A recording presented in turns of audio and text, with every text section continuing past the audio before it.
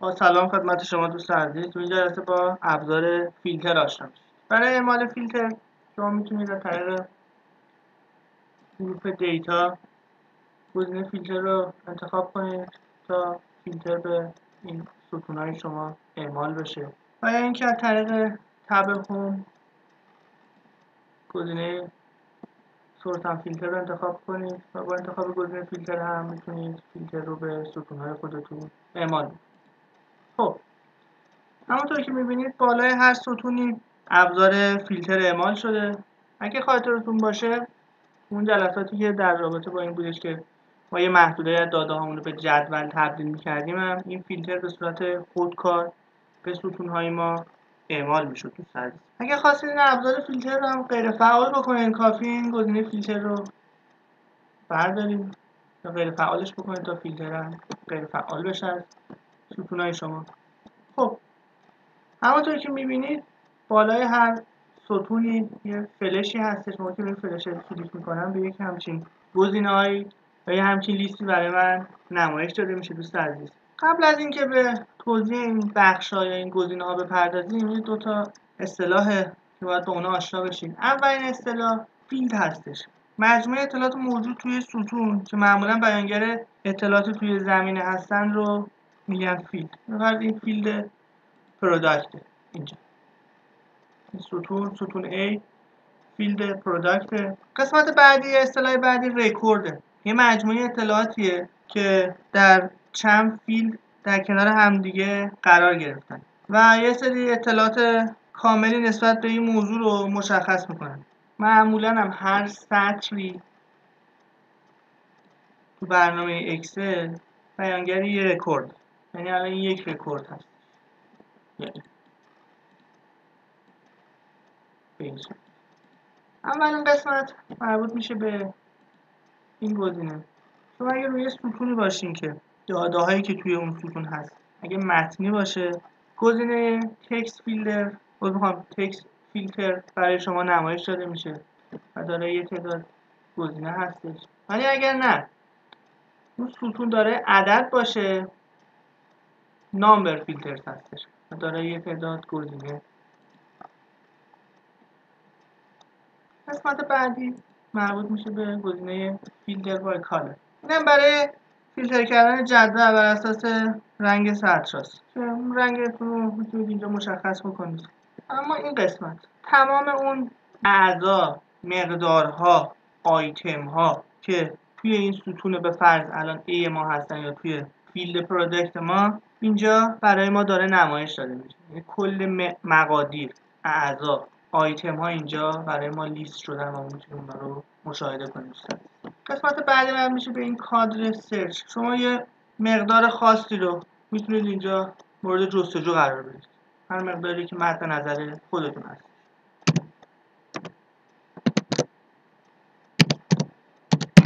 به این صورت اینجا براتون لیست میشه. قسمت بعدی که خیلی مهم هستش مربوط به این check box ها اگه می‌خواید به صورت دستی فیلتر رو اعمال بکنید روی یه مقدار خاص روی داده خاص. کافیه که این تیکی رو که اینجا هستش این تیک check box رو بردارید تا اون مقدار یا اون آیتم مورد نظر فیلتر بشه و دیگه نشون داده نشه دوست یعنی به این صورت من تیک select all رو بردارم یعنی هیچ کدوم از این گزینه های مقادیر یا اعضا تیک دار نباشه. تیک یکیشون رو می‌ذارم باشه. به این صورت اوکی می‌کنم. همونطور که می‌بینید همه مقادیر یا اعضای آیتم ها فیلتر شدن و فقط اون مقدار یا اعضای آیتمی رو که تیکدار بود برای من نمایش داده شد و ما, ما بقیه مقادیر فیلتر شدن و نشون داده نشدن. حالا من این فیلتری رو که اعمال کردم چجوری از بین ببرمش؟ می‌تونید اینجا با انتخاب گزینه کلیر و یا روی همین قسمت با انتخاب گزینه کلیر فیلتر این فیلتر رو که اعمال کردید رو از بین ببرید دوستان. بریم سراغ بعدی قسمت بعدی رو می‌خوام قسمت تکس فیلدر. برای اون ستون هایی که دارای داده های متنی هستن. این گزینه نمایش داده میشه. داره یه تعداد گزینه هستش. این بخش. گزینه اکوال. ببینید من روی هر کدوم از این گزینه کلیک بکنم این همچین پنجره برای من نمایش داده میشه. و من اون مقدار مورد نظرم رو می‌تونم توی این کادر وارد بکنم دوستان. اکوال یا حالا ما بقیه گزینه ها گزینه اکوال چی هستش؟ میاد فقط اون مقادیری رو که توی این ستون من هستش و برابر با اون مقداری رو که من اینجا وارد کردم رو برای من نمایش داده میشه نمایش میده و ما بقیه مقادیر یا آیتم یا اعضا رو برام فیلتر می‌کنه و نمایش نمیده. یعنی به چه صورتی؟ به این صورت من اینجا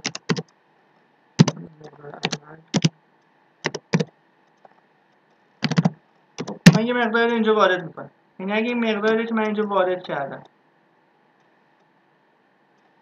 برابر بود با هر کدوم از این اعضای آیتما یا مقادیر اون اعضا اون عضو اون مقدار یا مقادیر یا اعضای آیتما برام نمایش داده میشن و ما بقیه آیتم ها اعضا یا مقادیر فیلتر میشن و نمایش داده نمیشه یعنی به این صورت.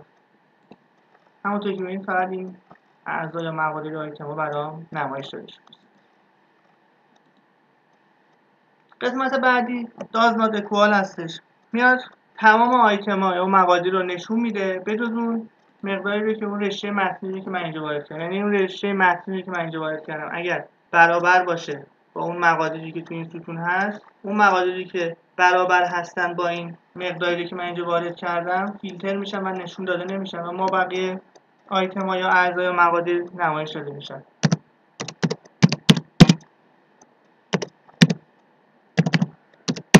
یعنی الان اون آیتما اعضا و یا مقادیری که برابر با این مقدارن فیلتر میشن نمایش داده نمیشن به این صورت.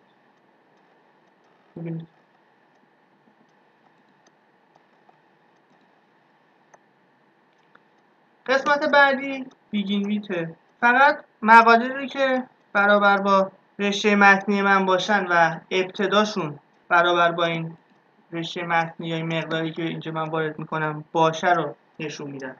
یعنی با این مقدار شروع شده باشن دوست برای این مثال من بی رو وارد می‌کنم. الان باید تمام اون آیتما یا مقادیری رو که با این مقدار شروع میشن رو برای من نمایش بده و ما بقیه رو فیلتر بکنیم. به این صورت.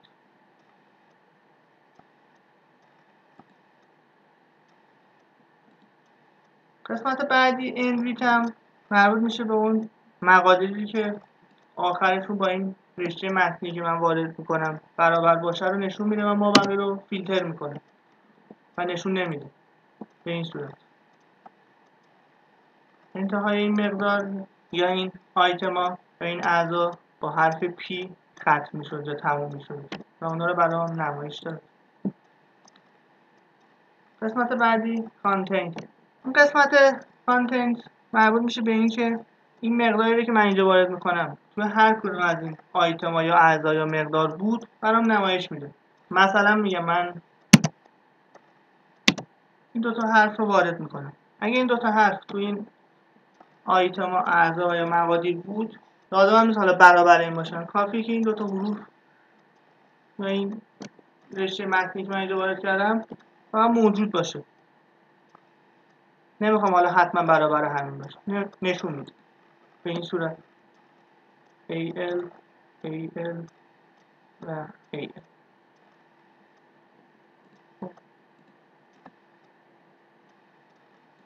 اینم عکس گزینه قبلی عمل می‌کنه. یعنی اون آیتما اون مقادیر و یا اون اعضایی رو که این دو تا حروف درشون نیستن رو یا اون حرف یا اون رشته متنی ها رو فرق نمی‌کنه. برام نمایش میده.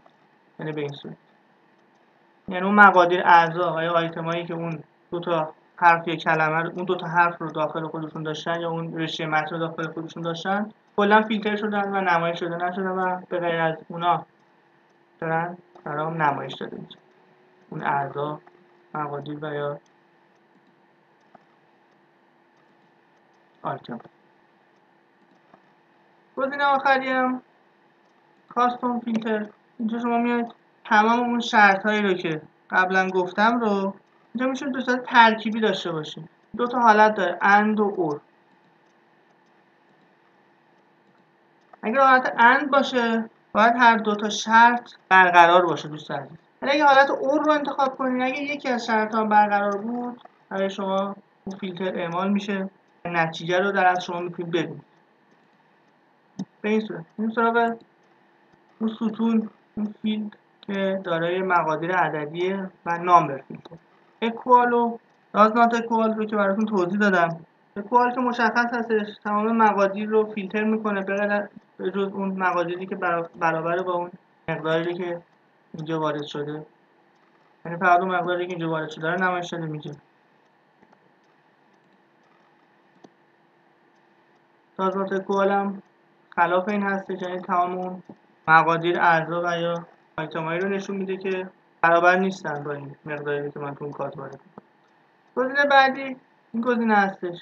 میاد تمام مقادیر رو که بزرگتر از این مقداری هستن که اینجا من وارد می‌کنم و برام نمایش میده. توی این کات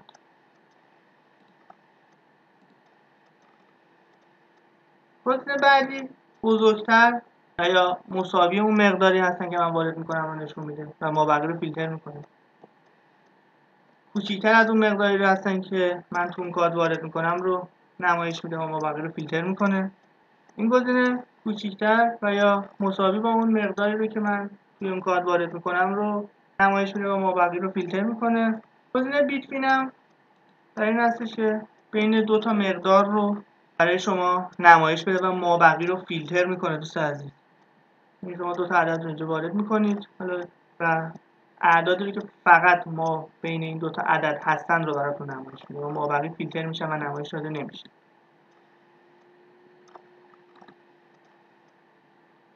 گزینه بعدی تاپ 10 هستش.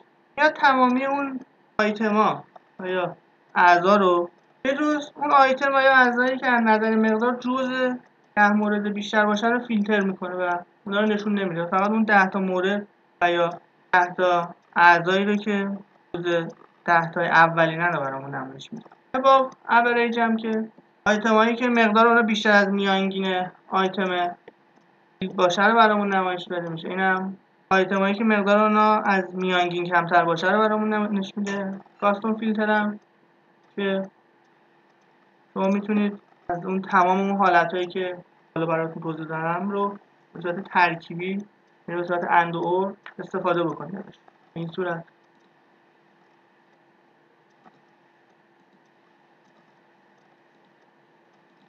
قسمت بعدی که خیلی مهمه. استفاده از ابزار ادوانس هست. تو گروپ سورت فیلتر که خیلی هم کاربرد داره. می‌تونیم اون محدوده داده های خودمون رو چند تا شرط روشون اعمال بکنیم و دقیقا اون رو فیلتر بکنیم. برای این کار اومدم اون اولین سطر اون محدوده خودم رو کپی ازش گرفتم. یعنی دقیقا عنوانایی که من رو میشه بگیم داده های خودم رو کپی گرفتم اینجا. قرار دادم اومدم زیر این عنوان اون شرط هایی رو که می‌خوام اعمال کنم و وارد کردم. خب شروع می‌کنیم با این مثال. تو قسمت اول من می‌خوام دانشجوهایی که ورودی 92 هستن رو برام نمایش بدم کار می‌کنم؟ یا رو گزینه ادوانس کلیک می‌کنم. تو قسمت لیست رنج رو محدوده داده های خودم مشخص می‌کنم. تو این قسمت میام اون عنوان همراه با اون شرط رو محدودش رو مشخص می‌کنم و اوکی می‌کنم. به این صورت. دانشجوهایی که سال ورودی 92 بودن رو برام نمایش میده. خب. این هم سراغ شرط بعدی. محدوده رو مشخص می‌کنم.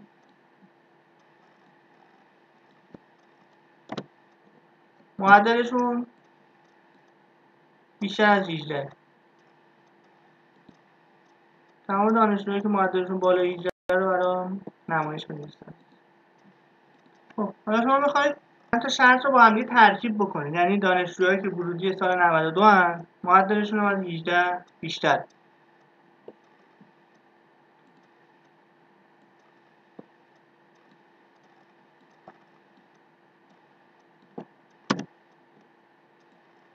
به این صورت.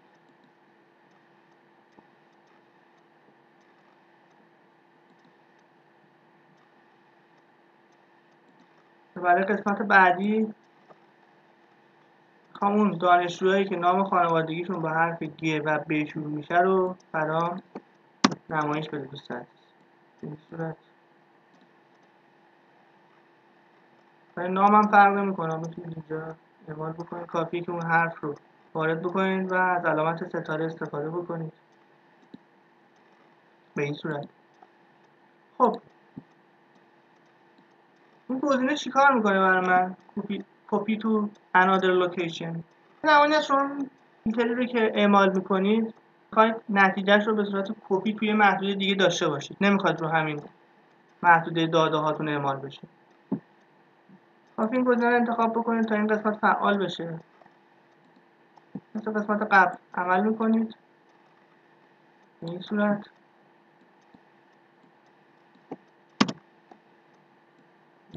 دو باشن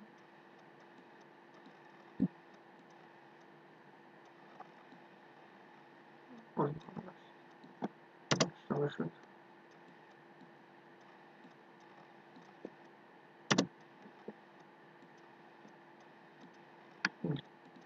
به این صورت این فیلتر رو اینجا من ازش می‌تونم کپی بگیرم و نمایش بدم.